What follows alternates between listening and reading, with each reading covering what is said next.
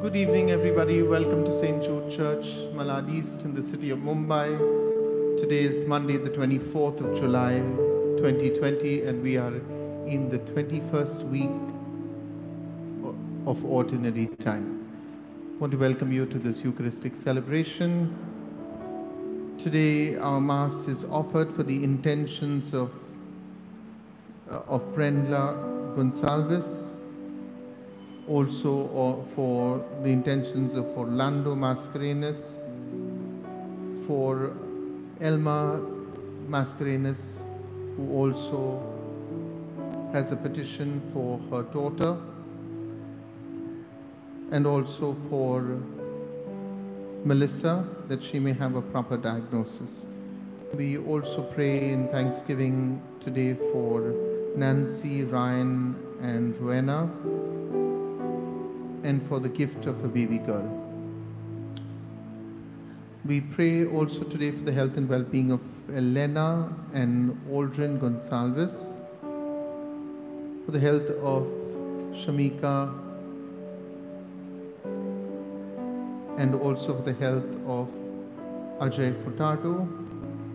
We continue to pray for Candice as she prepares herself for a second round of chemotherapy. Our prayers also for the health and well-being of Baldwin and his wife, for Everest D'Souza who is in the ICU, for Eddie and Millie.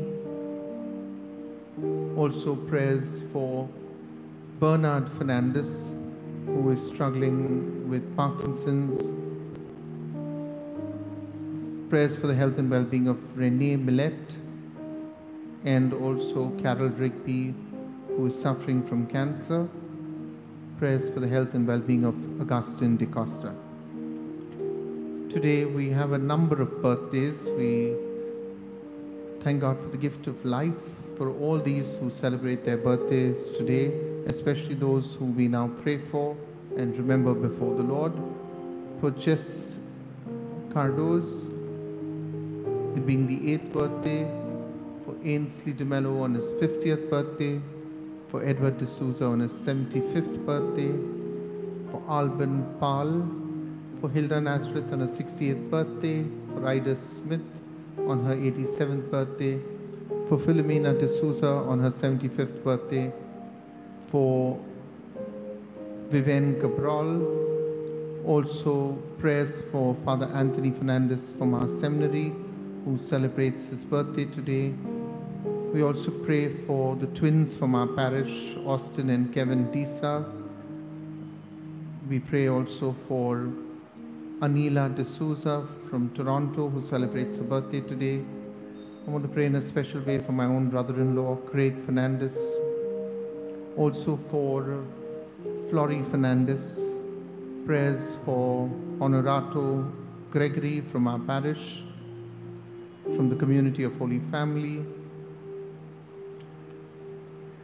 Prayers also for Richard from St. Joseph's community who celebrates his birthday today. Prayers for Father Dominic Adams, also for Kyle D'Souza, for Father Joel Pinto from IC Church Borivali who celebrates his birthday today, for Father Bartol Machado, also prayers for Jesse James celebrating his birthday today along with Anthea Miranda on her 18th birthday. Also Trisha from our parish from the community of St. Joseph. For Filomena Criado. Prayers also for Zane D'Souza on his 8th birthday and Charmaine Hendricks on her 50th birthday. For Alan Swami. For Anastasia and Casper Rodriguez they're both twins celebrating their 30th birthday today. For Peter Dias on his 71st birthday. For Avelino Fernandez. For Marian Anthony. For Hazel Menin. For Philomena Fernandez. And for Joel Pires. Today we pray for all the souls in purgatory. We remember those who have passed away due to the virus. Our prayers today also are for Jose Fernandez on his third death anniversary, for Leon de Souza, today being the month's mind.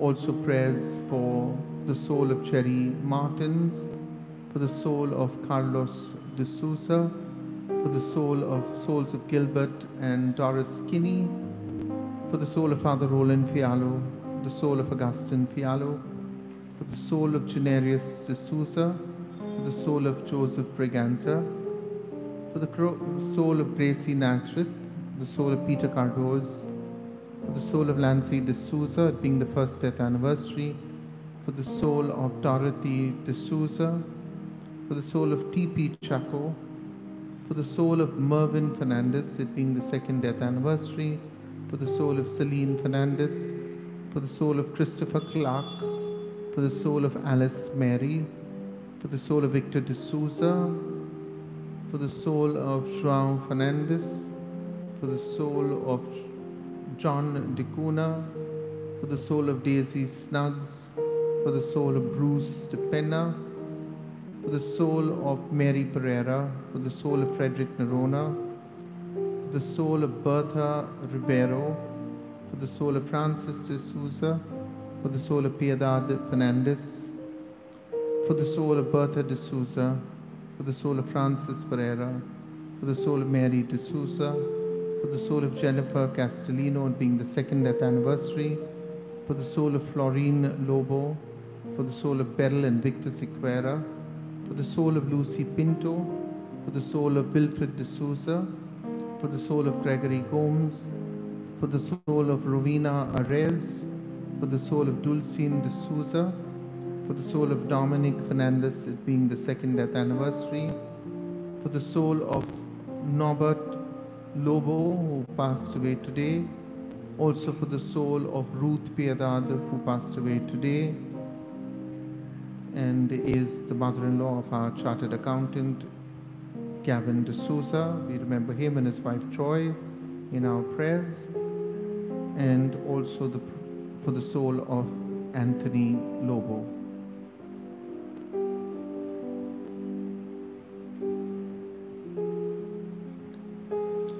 Please prepare yourselves to celebrate this Eucharist. I, today is the feast of Saint Bartholomew the Apostle. We will be singing the Gloria as part of our liturgy. Please find the hymns that were sent to you earlier this afternoon via WhatsApp. I had earlier sent a message to those on Facebook that we did not have the internet uh, some time ago. The internet has now been restored for those who'd like to view this Mass both from Facebook, would like to view this Mass on Facebook may do so. We'll be broadcasting live via Facebook and YouTube.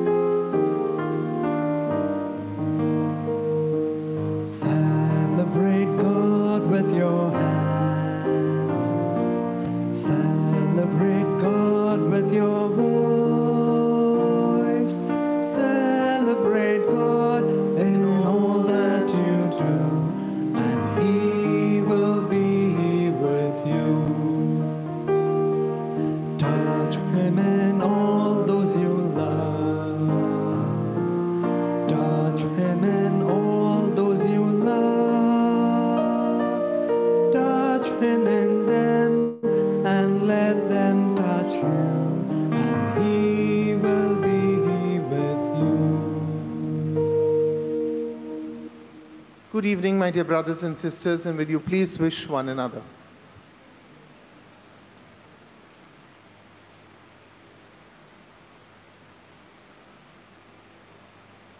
On the feast of St. Bartholomew the Apostle, let us sign ourselves. In the name of the Father, and of the Son, and of the Holy Spirit. Amen. The grace and peace of our Lord Jesus Christ, the love of God, and the communion of the Holy Spirit to be with you all. And with your spirit, As we celebrate these sacred mysteries, let us call to mind our failings.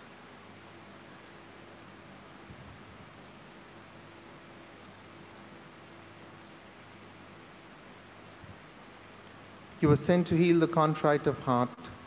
Lord, have mercy. Lord, have mercy. You came to call sinners. Christ, have mercy. Christ, have mercy. You plead for us at the right hand of the Father. Lord, have mercy. Lord, have mercy. May Almighty God have mercy on us. May He forgive us our sins and bring us to everlasting life. Amen. We give glory to God as we sing.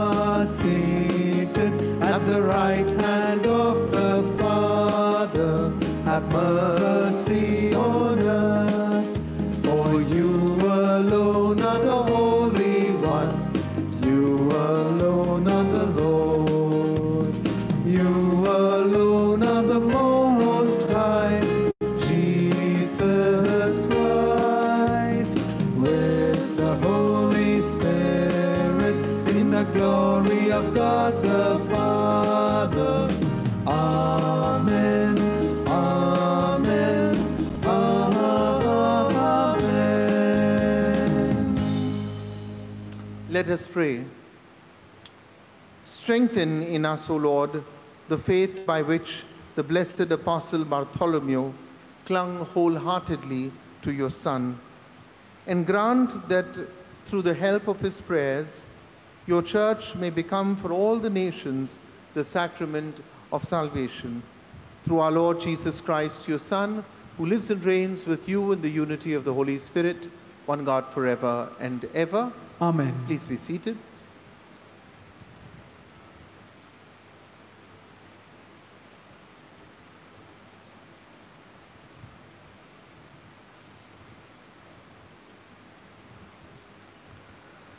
A reading from the book of Apoc- Apocalypse.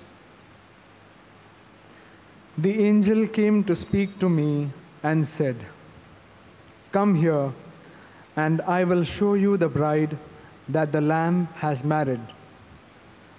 In the Spirit, he took me to the top of an enormous high mountain and showed me Jerusalem, the holy city, coming down from God out of heaven. It had all the radiant glory of God and glittered like some precious jewel of crystal clear diamond. The walls of it were of a great height and had twelve gates. At each of the twelve gates there was an angel, and over the gates were written the names of the twelve tribes of Israel. On the east there were three gates. On the north, three gates. On the south, three gates. And on the west, three gates. The city walls stood on 12 foundation stones, each one of which bore the name of the one of the 12 apostles of the Lamb. The word of the Lord. Thanks be to God.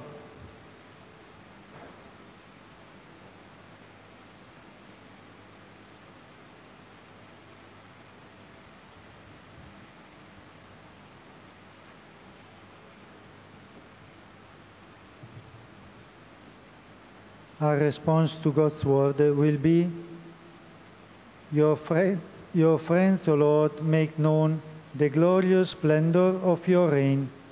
Your friends, O Lord, make known the glorious splendor of your reign.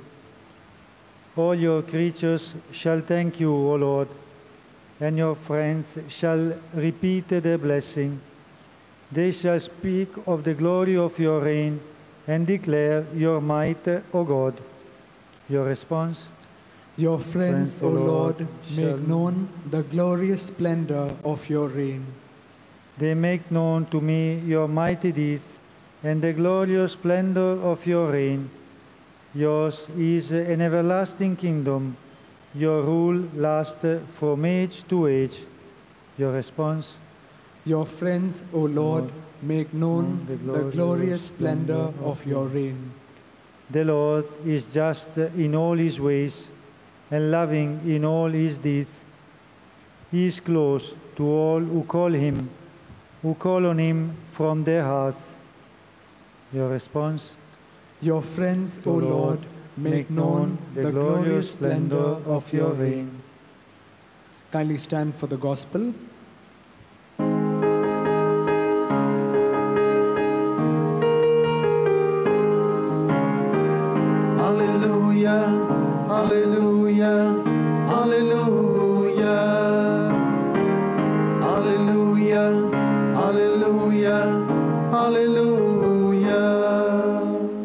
Rabbi, you are the Son of God, you are the King of Israel. Hallelujah, hallelujah, hallelujah.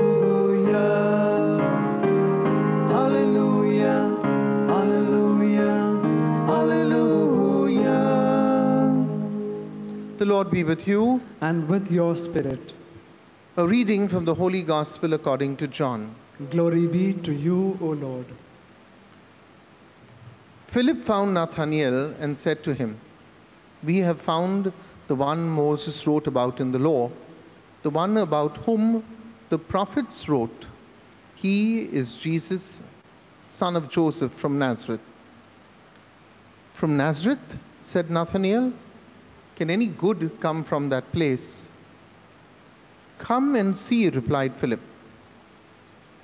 When Jesus saw Nathanael coming, he said of him, Here is an Israel, Israelite who deserves the name incapable of deceit. How do you know me? said Nathanael. Before Philip came to call you, said Jesus, I saw you under the fig tree. Nathanael answered, Rabbi, you are the Son of God, you are the King of Israel. Jesus replied, You believe that just because I said I saw you under a fig tree? You will see greater things than that. And then he added, I tell you most solemnly, you will see heaven laid open, and above the Son of Man, the angels of God ascending and descending. The Gospel of the Lord. Praise to you, Lord Jesus Christ. May I recommend that you open your Bibles? Today we are in the Gospel of John, and we are looking at chapter 1, verses 45 to 51 in the text, but I'm going to look at the larger text. So, John chapter 1.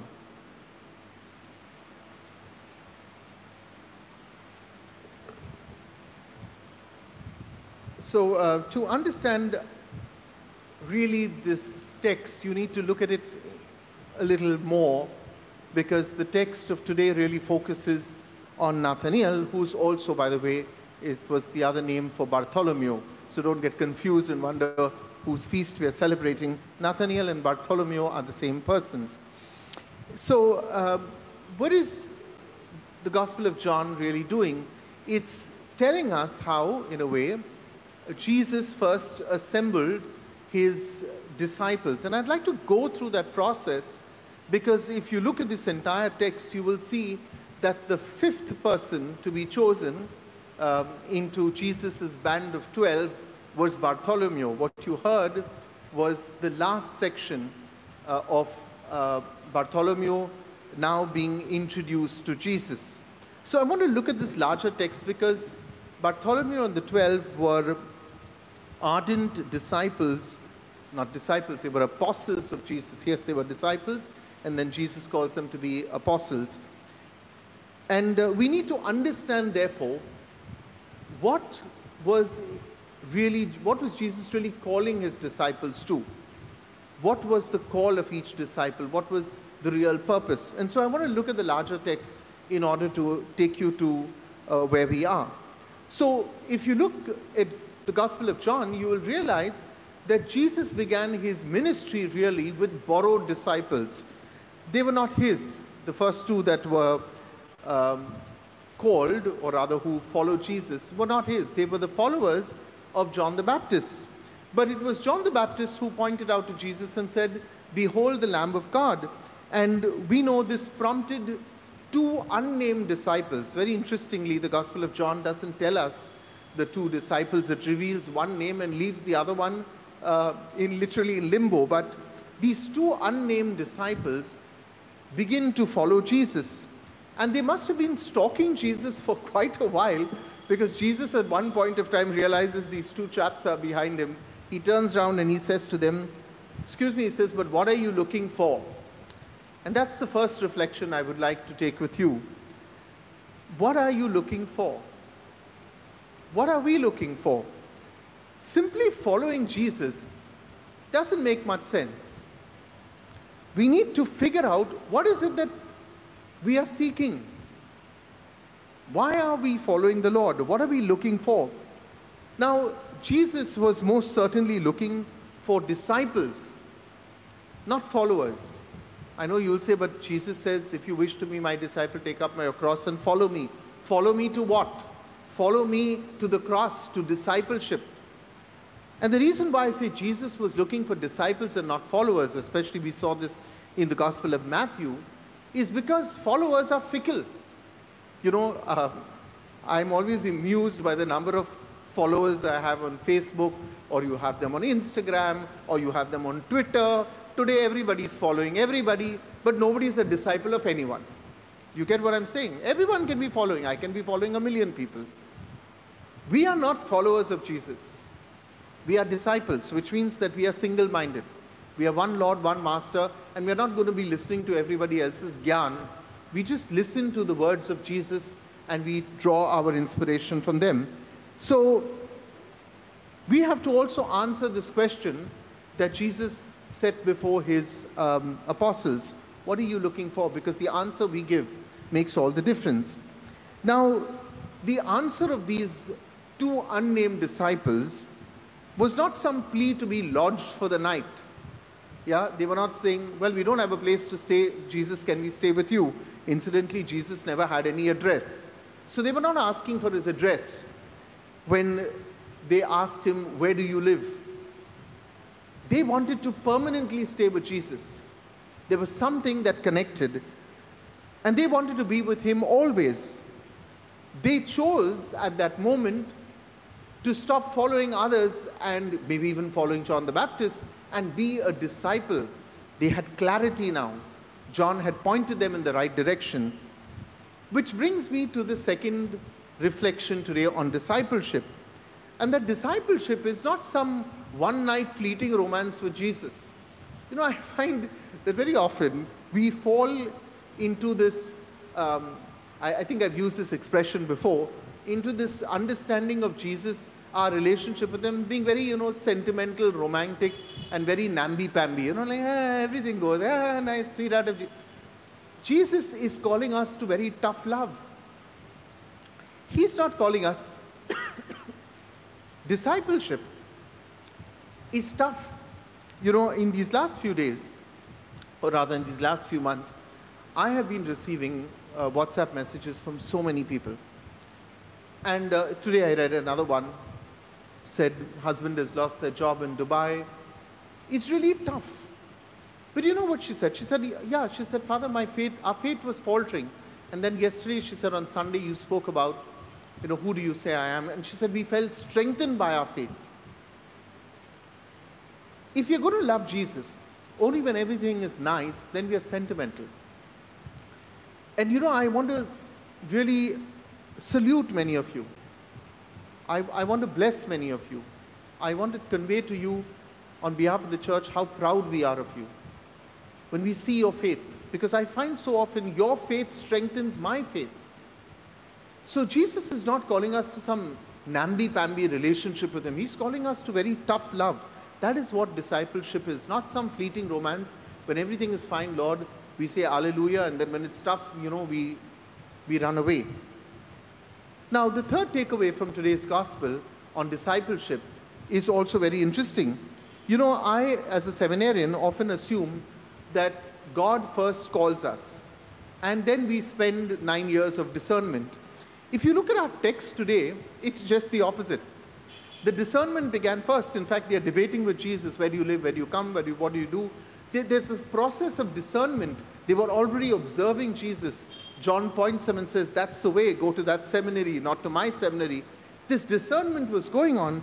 And then finally, when Jesus said to them, Come and see, that was the call, they answer the call. You see, the, the whole process is just the opposite.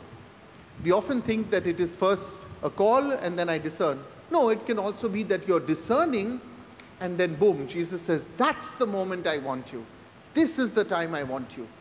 And you feel the call so strongly. So there are many people who feel, you know, I will discern later. Let Jesus call me. No, discern now. I want to say to many young people who are watching, and I hope young people are watching this, I always try to keep our homilies here uh, vibrant so that many young people feel enthused about Jesus. I want you to know that God is calling you. He is to discipleship. Maybe not to necessarily serve Him in the priesthood, but He is calling you to discipleship, to be a witness among the whole world, among your friends, that Christians are people, that disciples of Jesus are also fun loving. Yeah, that's why I always tell Christians please smile, please smile. People must look at you constantly and say, What's with this guy that he always has the ability to smile? Yeah? I find, um, I, I, I, think I shared this with you. On a Sunday morning, I think my, very, it's very hard. I want to tell you, coming to the altar some days, and some of you have said, Are Father, today you were smiling a little extra. What happened? I said, I'm always happy on some days, I'm super happy. Yeah? You know, they assume that when you smile on some days a little more, that day you are happy. I want to correct you. I am happy. And when I smile more, I'm super happy. But is it easy for me to come to the altar and smile? The answer is no. There are some days I want to bury my head somewhere and say, That's it, I'm done. I can't go before that camera. I cannot do it. But each time I say that, I say, What would Jesus want me to do? And I always think there is somebody there behind that camera watching somewhere who needs me today to say what Jesus wants to say to them. And you'll believe it or not, as soon as the Mass is over, and I'm sure today one of you will do it, will send me a message saying, That homily was for me.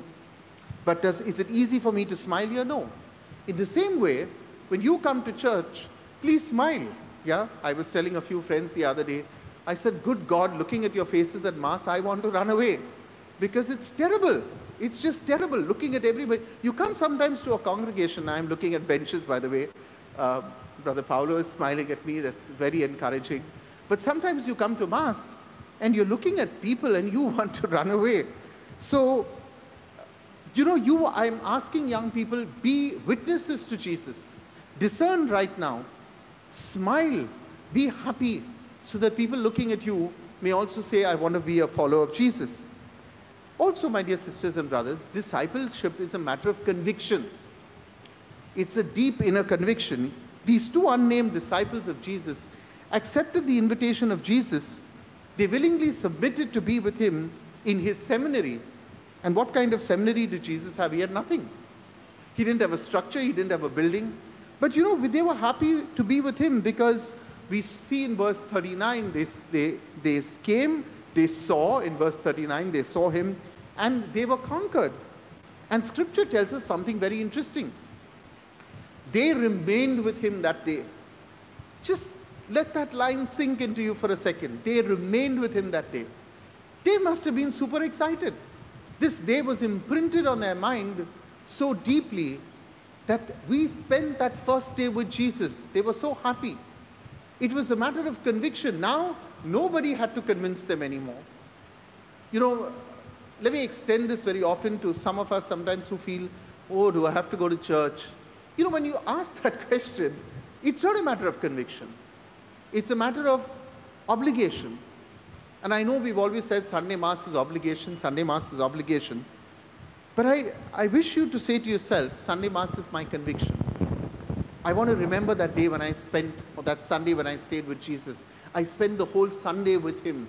Yeah, remember that Sunday is not our day, it's the Lord's day. It is the Lord's day. If it's the Lord's day, it's His day. It belongs to Him. We spend that day with Him. So they stayed with Him. And in less than 24 hours, Scripture tells us they said, Yes, Lord, we want to be with you. Because He made such a deep impact on their lives that day when they remained with Him. And interestingly, I think Jesus' sales pitch was a very hard act to follow. Most sales, uh, salespeople will first give you many words and then they'll give you a, perhaps an action. Look at Jesus. Jesus was a man of action. His words came later. He didn't have to convince people. Um, I, I don't know whether I've said it, sometimes I tend to repeat myself. But uh, one of the things that deeply struck me in the seminary was the words of Bishop Percival Fernandez when one day he was talking to us, I forget the occasion, but he said to us, he said, You know, brothers, 50% of your homily is over even before you say a single word. And I was wondering, where is this going? And he said, he repeated it. He said, 50% of your homily is over even before you say a single word because people look at you, they look at your life, they see whether you're a man of action, a man of God, and they believe everything else that you say. But if the first part has not really sold because they don't see you as a lover of Jesus, they don't see you rooted in His Word, they don't see you as a man for the people and a man who lives the values of Jesus Christ, then no matter what you say after that, said Bishop Percy to us, is absolutely useless. The disciples today were convinced. It is at this stage that the gospel now tells us the name of the of one of the unnamed disciples, and we know now he's Andrew. And Andrew has been drawn now into the into the fold, and he look at Andrew. He is so convinced. Remember, he spent those first 24 hours with the Lord that he goes running to his brother and says, We have found the Messiah, which gives us the third apostle. We now know that Jesus' seminary from two moved to three. Jesus calls him Cephas.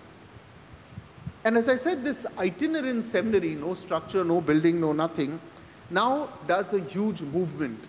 If you look at your text, Jesus moves from the south, from Judea, to the north, to Galilee. It is now here where he, in Galilee that he's going to make his headquarters. And when he arrives in Galilee, he meets the fourth one. And who is that? It's Philip. So Philip is the fourth apostle. And here is, which brings me to my last reflection. What kind of a person is Philip? And this is before I go to Bartholomew or Nathaniel. Because it is Philip who goes to Bartholomew and says, We have found the Master. Okay? So we need to understand a little bit about Philip. What kind of a disciple is Philip? I think Philip is an amazing guy because he could evangelize and take criticism and continue to evangelize. Why do I say this? Remember, our friend Philip goes to Bartholomew and says, Hey, Bartholomew, Nathaniel, guess what? We have found the Master. And what does our apostle of today, whose feast we celebrate, I call him the cynical one, he must have sneered. he sneered and said, Really? From Nazareth?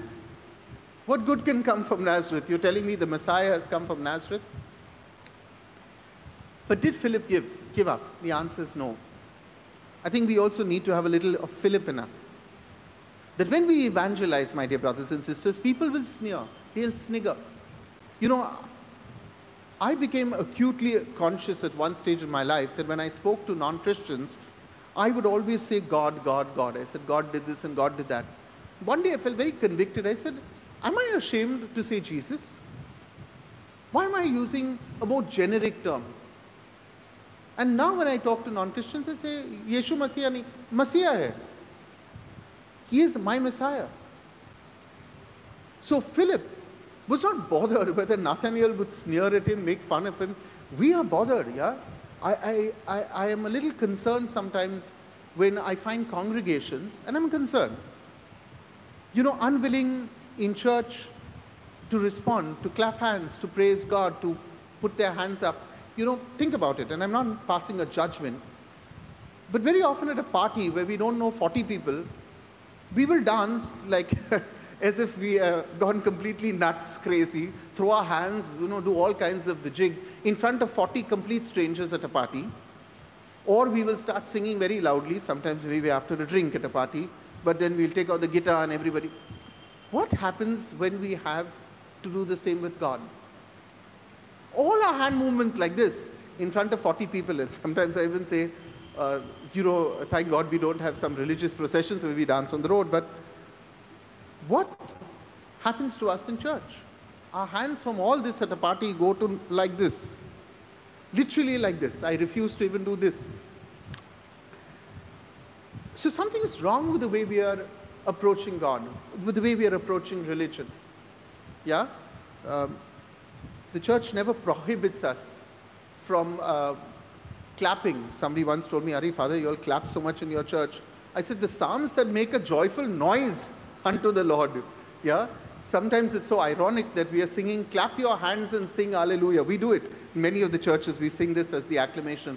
Clap your hands and sing hallelujah. Nobody's clapping their hands, but they're all saying, clap your hands. And how ironic is the presentation of our faith, really. So don't be ashamed. Philip could take cynicism.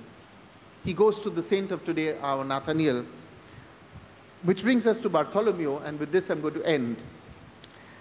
So Bartholomew believed that in Jesus because Jesus revealed his past. He said, Jesus said, Oh, what good can come from Nazareth? Well, Bartholomew, I saw you under a fig tree. Somebody asked me, Father, why a fig tree? I said, just go to Palestine, there are only fig trees. Yeah, there are olive trees and fig trees. It was the most obvious tree. I think even if Jesus took a guess, he would have said, You were under a fig tree. But anyway, Bartholomew believes because Jesus says, I saw you under a fig tree. And he falls for Jesus. And Jesus says, Look, I don't want you to believe me because I could tell you your past. And the same goes for all of us. We don't believe in Jesus because he tells us our past or our future. We believe in Jesus because we experience him in the present. Right here, right now, we know he's our Savior. No compromise on that. And look how Bartholomew died. I mean, there's some belief that he came to India. He didn't. Trust me, I'm a hist- I teach history in the seminary. He never came to India as much as we'd like to believe. But certainly in Armenia, yes. In fact, he's a patron. Armenia, by the way, is the first, was the first country that was entirely Catholic. Armenia was the first entirely Catholic country. And the king of that place, Astyages, put Bartholomew to death why? Because they wanted him to worship their gods and he struck down their idol, breaking it. And so the king decided to first strip him of his skin. They flayed him. They removed off his entire skin and then um, hung him upside down and crucified him. And these were our apostles, people who began by sniggering and sneering at our Lord, and then the ones who gave their life for him. Let that settle in, my dear brothers and sisters. Let this whole process of discipleship settle in. So that you completely understand that we stand today in the line of people, yes, who were weak, with failings and falterings, but look at them. Look at the end process. Because they chose with conviction to cling on to that day when they remembered how Jesus touched and transformed their life and they were never the same again, willing to give their life for Jesus. Happy feast, everybody, and cherish this wonderful apostle, Bartholomew.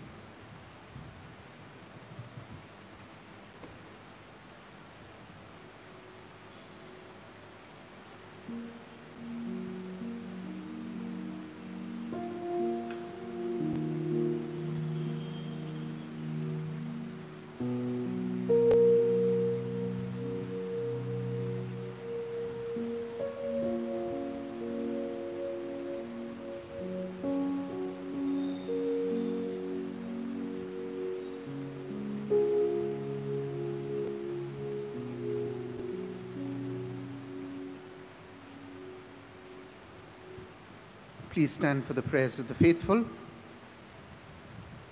As we honor the apostle who was a man incapable of deceit, let us come confidently to the Father, opening our hearts in prayer.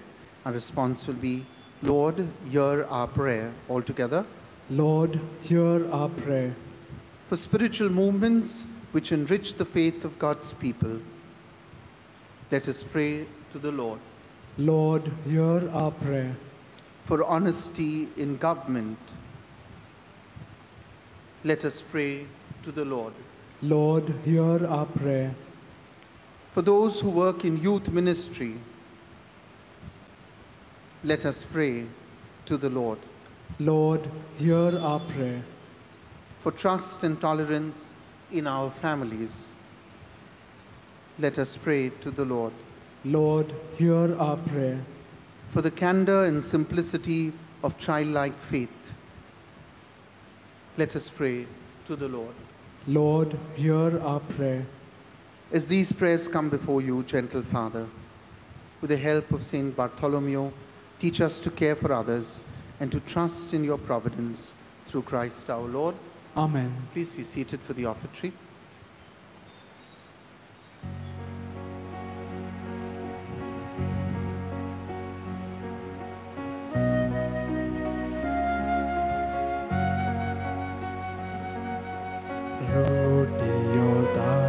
दाखलस की भेंट हमारी समर्पित तुम्हें प्रभु दिलों की। सुख दुख और मेहनत की ज़िंदगी स्वीकार करो पावन करो भेंट दिनों की। स्वीकारो अपना लो ये बलिदान ये प्रेम सुमन, प्रेम से भर दो हमारा जीवन। मिल जाए हमें कृपा, वरदान। स्वीकारो, अपना लो ये बलिदान। तुमको अर्पित ये प्रेम सुमन, प्रेम से भर जीवन मिल जाए हमें कृपा वरदान Pray, my sisters and brothers, that this our sacrifice may be acceptable to God, the Father Almighty. May the Lord accept these sacrifice at your hands for the praise and glory of his name, for our good and good of all his holy church. As we celebrate anew the feast day of Saint Bartholomew, O Lord, we pray that we may obtain your help through the intercession of the apostle, in whose honor we bring you the sacrifice of praise. Through Christ our Lord. Amen. The Lord be with you. And with your spirit, Lift up your hearts. we lift them up to the Lord. Let us give thanks to the Lord our God. It is right and just. It is truly right and just, our duty and our salvation, always and everywhere, to give you thanks, Lord, Holy Father, Almighty and eternal God. For you, eternal shepherd, do not desert your flock, but through the blessed apostles, watch over it and protect it always, so that it may be governed by those you have appointed shepherds to lead it in the name of your Son. And so, with the angels and archangels, with thrones and dominions, and with all the hosts and powers of heaven, we sing the hymn of your glory, as without end we acclaim.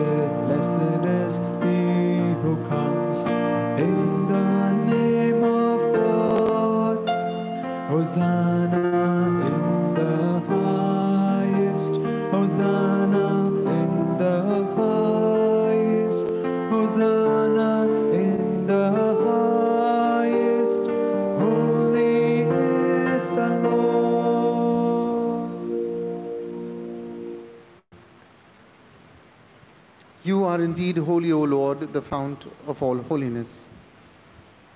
Make holy, therefore, these gifts, we pray, by sending down your Spirit upon them like the dewfall, so that they may become for us the body and blood of our Lord Jesus Christ. At the time he was betrayed and entered willingly into his passion, he took bread and giving thanks, he broke it and gave it to his disciples, saying, Take this, all of you, and eat of it, for this is my body, which will be given up for you.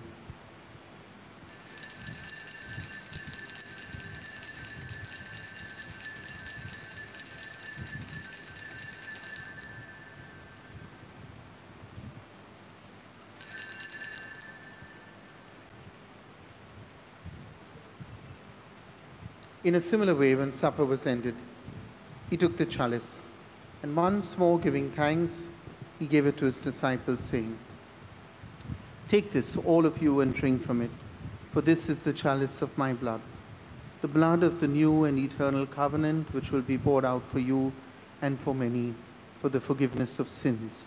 Do this in memory of me.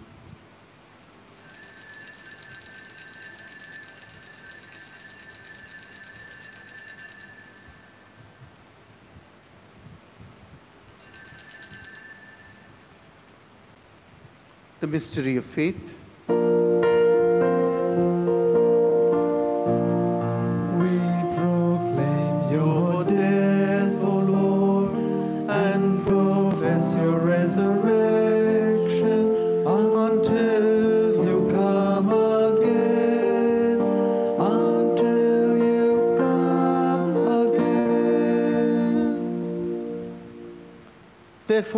We celebrate the memorial of his death and resurrection, we offer you, Lord, the bread of life and the chalice of salvation, giving thanks that you have held us worthy to be in your presence and minister to you. Humbly we pray that partaking of the body and blood of Christ, we may be gathered into one by the Holy Spirit. Lord, remember your church spread throughout the world. Bring her to the fullness of charity, together with Francis, our Pope, with Oswald, our Bishop, and with all the clergy. Remember also our brothers and sisters who have fallen asleep in the hope of the resurrection, and all who have died in your mercy. Welcome them into the light of your face. Have mercy on us all, we pray, that with the Blessed Virgin Mary, Mother of God, with the blessed apostles, and with all the saints who have pleased you throughout the ages, we may merit to be co heirs to eternal life and may praise and glorify you through your Son, Jesus Christ. Through him and with him and in him, O God, Almighty Father, in the unity of the Holy Spirit, all glory and honor is yours forever and ever. Amen.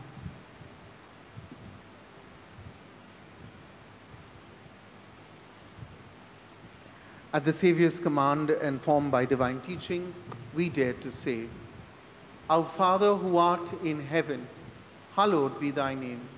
Thy kingdom come, thy will be done on earth as it is in heaven. Give us this day our daily bread and forgive us our trespasses, as we forgive those who trespass against us.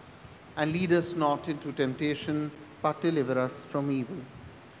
Deliver us, Lord, we pray, from every evil. Graciously grant peace in our days, that by the help of your mercy we may be always free from sin and safe from all distress, as we await the blessed hope and the coming of our Savior, Jesus Christ.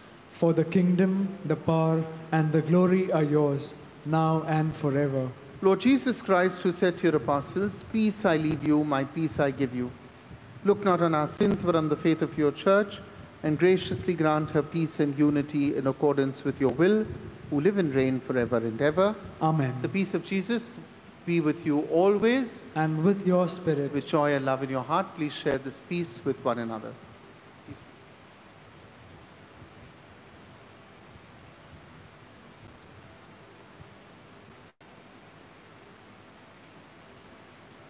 Lamb of God, you take, away the sins of the world. have mercy on us.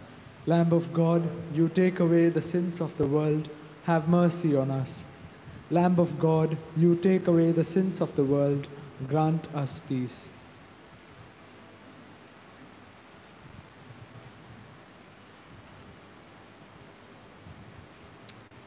Behold the Lamb of God. Behold him who takes away the sins of the world. How blessed are we who are called to the supper of the Lamb. Lord, Lord, I am not worthy that you should enter under my roof, but only say the word, and my soul shall be healed.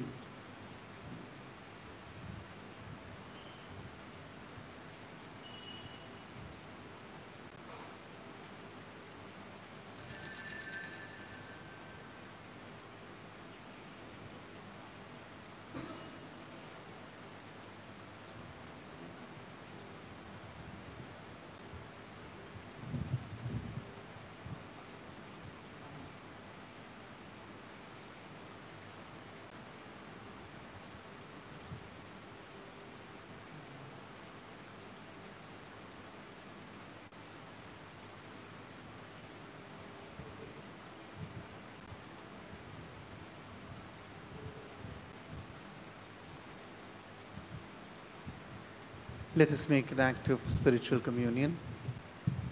My Jesus, my Jesus, I believe that you are present in the most holy sacrament.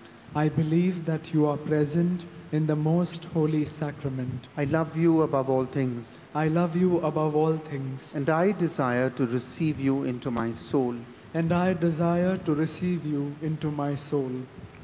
Since I cannot at this moment receive you sacramentally, Since I cannot at this moment receive you sacramentally, come at least spiritually into my heart. come at least spiritually into my heart. I embrace you I embrace you as if you were already there, as if you were already there, and unite myself wholly to you. and unite myself wholly to you. Never permit me to be separated from you. Never permit me to be separated from you. Amen. Amen.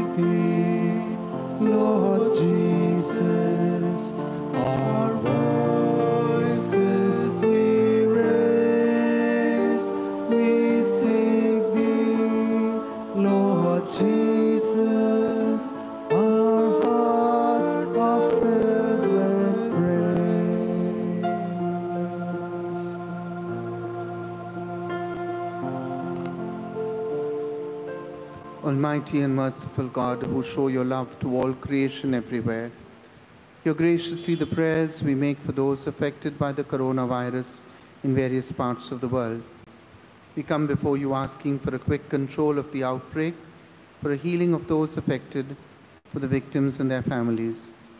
We pray for the doctors doing research that an effective vaccine to combat the sickness is speedily found. We pray for the government and health authorities that they may take appropriate steps for the good of the people. We make this prayer through Christ our Lord. Amen. Just uh, two quick announcements. Um, we have adoration tonight between 9.30 and 10, ending with benediction. Please do join us. And yesterday at Mass, I inadvertently said that Sunday Mass is at 9.30 uh, a.m. It's not at 9.30, it's at 9 o'clock. I don't know why I said that.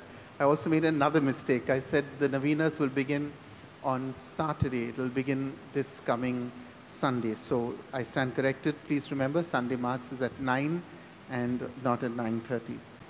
We'll say the final prayer followed by the blessing. As we celebrate the feast day of the blessed apostle Bartholomew, we have received the pledge of eternal salvation, O Lord. And we pray that it may be of help to us both now and for the life to come through Christ our Lord. Amen. Bow your heads and pray for God's blessings. May God, who has granted you to stand firm on apostolic foundations, graciously bless you through the glorious merits of the holy apostle Saint Bartholomew. Amen. And may he who endowed you with the teaching and example of the apostles make you under their protection witnesses to the truth before all. Amen. So that through the intercession of the apostles, you may inherit the eternal homeland, for by their teaching you possess firmness of faith. Amen. And may the blessings of Almighty God, the Father, the Son, and the Holy Spirit come upon you and remain with you always. Amen. This Mass is now ended. Let us glorify Jesus by the lives we live. Thanks be to God.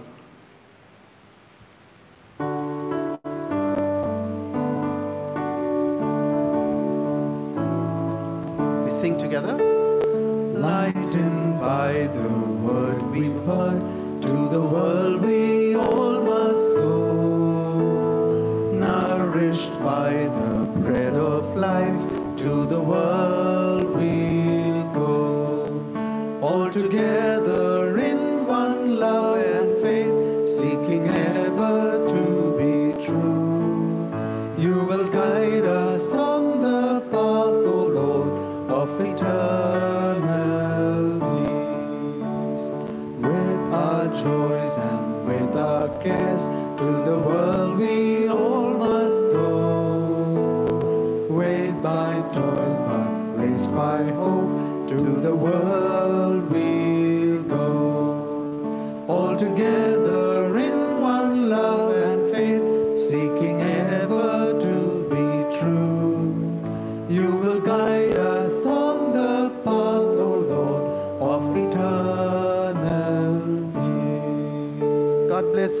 lovely evening, everyone.